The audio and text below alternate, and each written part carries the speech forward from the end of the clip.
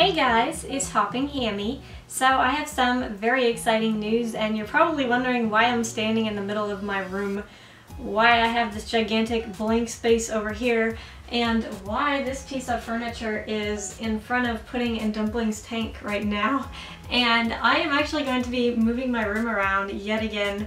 I think this is literally like the fourth time that I have moved this room around since I've been in it.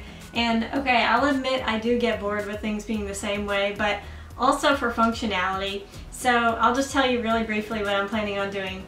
I have a wardrobe over here on the other side of the window if you remember, so I'm going to be actually taking that wardrobe and I'm going to be moving that over here. So I'm going to have wardrobe, wardrobe, and then this piece of furniture is going to go in the middle and it's going to be like a little nook and then Pudding and Dumplings tank is actually going to go on the other side of the room, so I'm going to have two tanks lined up so it looks like one long tank and I'm hoping it's gonna look okay. And in the future one day I want to actually connect both of the tanks together with tubes and I will be doing a room tour once it's all done but please be patient because I am a perfectionist and I want everything to be organized and perfectly in place before I show it to the world.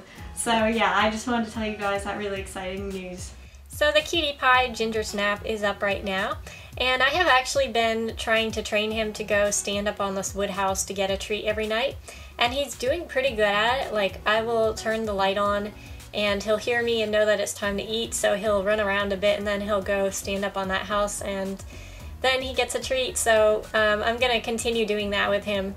And Pudding and Dumpling are doing great as well. They are sleeping at the moment so I can't get any video clips of them, but they are doing great. They're little sleeping beauties.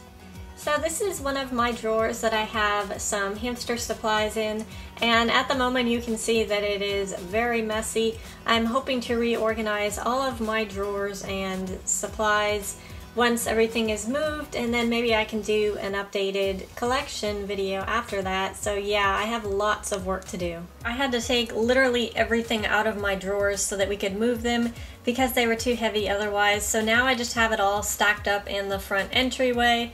And uh, yeah, it's kind of a big mess out here right now. So I'm looking forward to putting everything back, not really.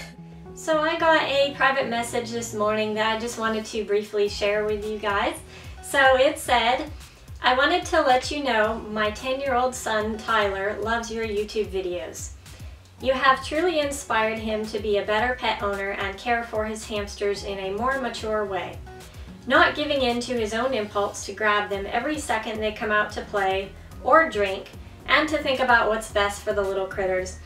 So I thought that was such a sweet message and it always makes me really happy to hear of people who watch my videos and find the videos helpful and that it inspires them. So thank you so much for that message.